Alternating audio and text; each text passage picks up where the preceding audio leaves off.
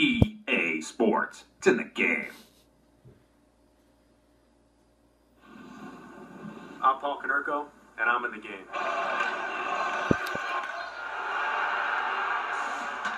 MVP Baseball